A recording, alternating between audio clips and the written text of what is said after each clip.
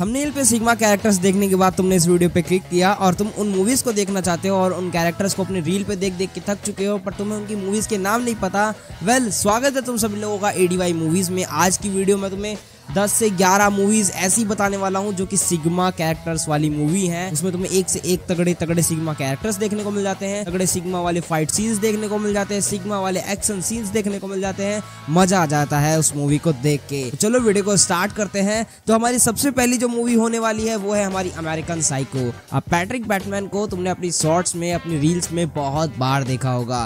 Well ये character का नाम पैट्रिक बैटमैन है, जो मैंने तुम्हें बता ही दिया। एंड ये अमेरिकन साइको नाम की मूवी से बिलोंग करता है। अब एक्चुअली में ये एक साइको है जो कि सीरियल किलर की तरफ़ बिल्कुल रिएक्ट करता है मतलब गुस्सा आता है पर ये तुरंत के तुरंत ज़ाहिर नहीं करता ये बहुत बुरी तरह से उस इंसान को मारता है। ये इस कुछ बहुत सारे इंसानों को मार चुका होता है अपने अपार्टमेंट में एंड वहाँ पे लोगों को रखता है। लेकिन इस मूवी के एंड में जो तुम्हें देखने को सीन मिलता है वो तुम्हारा दिमाग खिला देता है। लाइक बहुत ही खतरनाक चीज़ होती है इस मूवी के एंड में। मतलब तुम भी सोचोगे कि क्या क्या चीज़ हुई इस मूवी मतलब मुझे कुछ समझ में ही नहीं आया क्या चीज़ हुई। तुम बिल्कुल तुम्हारा रिएक्शन बिल्कुल ये होगा। तो देखना ज़रूर इस मूवी को, क्योंकि ये मूवी बहुत ज़्यादा पॉपुलर मूवी रही है। एंड ये वाला जो कैरेक्टर है पैट्रिक बैटमैन ये भी बहुत ज़्यादा पॉपुलर कैरेक्टर हो गया है, क्योंकि ये सिग्मा कैरेक्टर है एंड ये मूवी पहली बात देखो यार, हिंदी में अवेलेबल नहीं मिलेगी, तुम्हें इंग्लिश में ही देखना पड़ेगा तो हाँ एडजस्ट कर लेना। बट मूवी बहुत औसम है, अगर देखोगे तो तुम्हें ज़िंदगी भर याद रहने वाली है। अब जो हमारी दूसरी मूवी है, वो है जोकर अब देखो जोकर कैरेक्टर बैटमैन वाली मूवी में है और एक जोकर की सेपरेट मूवी है। तो जोकर वाली जो सेपरेट मूवी है, वो देखना। वो तीसरी मूवी है जॉन वेक अब हाँ यार, जॉन विक एक ऐसा कैरेक्टर है, जॉन विक मूवी से, जॉन विक यूनिवर्स से कि भाई इससे तगड़ा कैरेक्टर तुमने सिग्मा नहीं देखा होगा। भाई देखो, इस बंदे को एक वाइफ थी जो कि कैंसर की वजह से मर गई थी। लेकिन ये वाइफ आने से पहले एक एसेसियन हुआ करता था, एक बहुत सारी ऑर्गेनाइजेशंस में काम किया करता था। बट अभी इसकी वाइफ कैंसर से मर गई एंड उसकी वाइफ ने इसे गिफ्ट किया एक डॉग बट उस डॉग को कुछ लोगों ने कुछ रीजंस की वजह से मार दिया। एंड इस बंदे ने सिर्फ़ उस डॉग के लिए, उस कुत्ते के लिए साढ़े सात सौ से ज़्यादा लोगों का मर्डर किया। क्योंकि ये उस बंदे को मारने जा रहा था जिसने उसके कुत्ते को मारा है। एंड अभी वो जो जिसने जिस बंदे ने उसके कुत्ते को मारा है, वो बहुत बड़ा आदमी है। उसने बहुत सारी सिक्योरिटी रखी है कि वो जॉन विक उसे मारने आएगा। बट जॉन विक कहाँ रुकने वाला है? जॉन विक पेंसिल से चार चार, पाँच पाँच, सात सात, दस दस लोगों को मार मार देता है।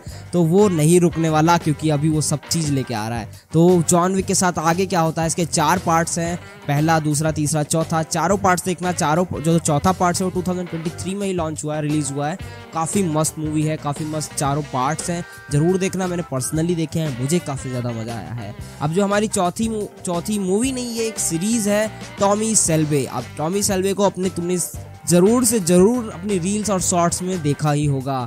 इसके सिग्मा कैरेक्टर सिग्मा स्टेटस बहुत ज़्यादा अच्छे लगते हैं। एक्चुअली टॉमी सेल्वे बिलोंग करता है पीकी ब्लाइंडर्स नाम की सीरीज़ से।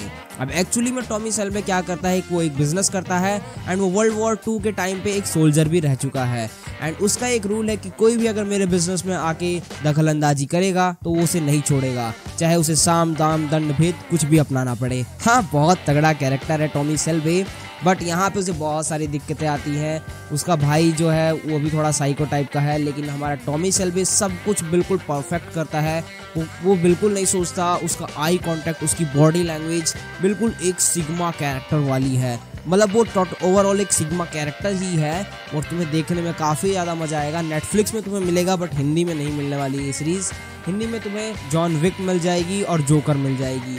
बट अमेरिकन साइको और पीकी ब्लाइंडर नहीं मिलेगी। पांचवी मूवी है हमारी बैटमैन अब बैटमैन में पुरानी वाली नहीं कह रहा हूँ, जो टू में आई हुई है, वो वाली बैटमैन अब एक्चुअली में बैटमैन का मतलब क्या? जो हमें, जो पूरे अब जो हमारी नेक्स्ट मूवी है, वो है the Wolf of the Street अब हाँ इसमें तुम्हें फाइटिंग वाला कोई सिग्मा कैरेक्टर देखने को नहीं मिलता। इसमें तुम्हें एक बिज़नेस सिग्मा कैरेक्टर देखने को मिलता है। हमारा मेन कैरेक्टर इसमें एक बहुत ही ज़्यादा मिडिल क्लास फैमिली से बिलोंग करता था एंड उसे बहुत सारा पैसा कमाना था बट अभी उसकी जॉब भी चली गई है एंड अभी वो एक स्टॉक मार्केट एक्सचेंज में एज ए ब्रोकर काम कर रहा है। बट वहाँ पे वो थोड़ा सा सीखता है, बिल्कुल हमारे 1992 स्कैम वाली सीरीज़ की तरह एंड उसके बाद वो खुद का अपना एक चार पाँच बंदों को लेके छोटी सी ऑर्गेनाइजेशन बना लेता है। वो एक इलीगल स्टॉक पे काम करता है एंड सबके पैसे उसी में भर देता है खुद एक मिलेनर बन जाता है। अब इसके आगे क्या होता है, क्या वो फंसता है, उसे कैसे पकड़ा जाता है, या वो बच जाता है सबसे, और कहाँ जाके रहता है, इतना पैसा कमाने के बाद कैसे वो मज़े करता है एंड वो पकड़ा किस तरह से जाता है, ये सब देखने के लिए तुम्हें काफ़ी ज़्यादा मज़ा आएगा, और ये सब देखने के लिए तुम्हें इस मूवी को भी देखना पड़ेगा। बट वहीं पर तुम्हें ये मूवी में जो मज़ा आएगा ना देखने मतलब एक अलग तरीके की वाइब बनी रहती है इस मूवी में। तो मूवी देखते हुए बोर नहीं होगे तुम, बिल्कुल भी तुम्हें काफ़ी ज़्यादा मज़ा आएगा। चेकआउट ज़रूर से करना। एंड 18 प्लस मूवी है तो अकेले ही देखना। अब जो नेक्स्ट मूवी है, वो है द बॉयज़ अब एक्चुअली ये मूवी नहीं है, ये हमारी एक सीरीज़ है, जो कि अमेजोन प्राइम पे तुम्हें देखने को मिल जाएगी। अब द बॉयज़ में एक नहीं, दो नहीं, तीन नहीं, बल्कि दस से भी ज़्यादा सिग्मा कैरेक्टर्स देखने को मिल जाते हैं। होमलैंडर हो गया, हमारे और जितने भी द बॉयज़ में सारे कैरेक्टर्स हो गए, वो सब एंड कुछ सुपर हीरोज जो उसमें दिखाए गए हैं। स्टोरी लाइन कुछ इस तरह से है कि यहाँ पे एक कंपनी है जो कि बोलती है कि हमारे, हम सुपर हीरोज को काम पे रखते हैं क्योंकि सुपर हीरोज गॉड हैं। मतलब बिल्कुल god god gifted super heroes है। बट एक्चुअली में हमारे चार लॉन्डो को पता चला है कि सुपर हीरोज कोई गॉड वगैरह नहीं है। उन्हें ड्रग्स दे के गॉड बनाया गया है। एंड अभी वो लोग इसे इन्हें एक्सपोज करना चाहते हैं। तो क्या वो लोग एक्सपोज कर पाएँगे? क्योंकि उनके पास तो कोई सुपर पावर भी नहीं है और वो ऐसे बंदों से टक्कर ले रहे हैं जो कि एक बार में उन सबको खत्म कर सकते हैं। तो कैसे करेंगे वो चार बॉयज़ चार बॉयज़ इनकी कैसे पोल खोलने वाले हैं? वो सब देखने में काफ़ी ज़्यादा मज़ा आता है।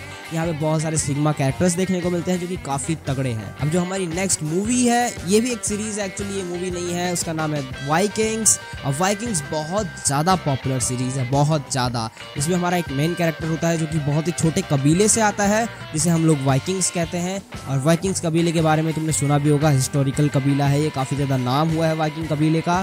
तो एक्चुअली में सीन क्या है कि वाइकिंग्स में जो ये बंदा है, ये छोटे से कबीले को लेके वॉर स्टार्ट कर देता है एंड एक बहुत बड़े किंगडम पे राजा बन जाता है। मतलब ये कैसे होता है, इनके बीच की जो जर्नी होती है स्ट्रगल होता है, वो रियल होता है और बहुत तगड़ा देखने को मिलता है। जिस तरह से दिखाया गया है सीरीज़ में मज़ा आ जाता है। अब भाई सीन ऐसा है कि वो बंदा सिर्फ़ 10-15 लोगों को लेके एक वॉरियर बन चुका है एंड इतने बड़े किंगडम की सेना को वो सिर्फ़ 10-15 बंदों के साथ लेके ख़त्म कर देता है एंड कैसे इतना बड़ा राजा बन जाता है, वो सब देखने में काफ़ी ज़्यादा मज़ा आता है। देखो मैं, तुम, अगर मैं इसे हिस्टोरिकल बोल रहा हूँ तो इसका मतलब ये नहीं कि तुम्हें इसमें मज़ा नहीं आएगा और वो हिस्ट्री वाली फील देगा, राजा महाराजा वाली, बिल्कुल नहीं। प्योर एक्शन वाली फील गई है साथ में इसमें कुछ मॉडर्न एलिमेंट्स भर दिए गए हैं तो काफ़ी ज़्यादा मज़ा आता है हमें ये देखने के बाद। चेकआउट ज़रूर से करना, ये सीरीज़ काफ़ी औसम है। अब जो हमारी नेक्स्ट मूवी है, वो है ब्लेड रनर 2049 अब बेसिकली 2049 मतलब फ्यूचरिस्टिक कॉन्सेप्ट यूज़ करे गए हैं। अब एक्चुअली में इसमें कहानी दिखाई गई है कि इंसानों ने कुछ रोबोट्स बनाने स्टार्ट करे थे एंड अभी एक टाइम पे रोबोट्स ने इंसानों को रिप्लेस कर दिया है एंड वहाँ पे ह्यूमनॉइड्स नाम के ह्यूमनॉइड्स रेप्लिकेंट्स रहते हैं, जिन्हें बहुत ज़्यादा मुश्किल से पहचाना जाता है कि वो इंसान है या रोबोट है।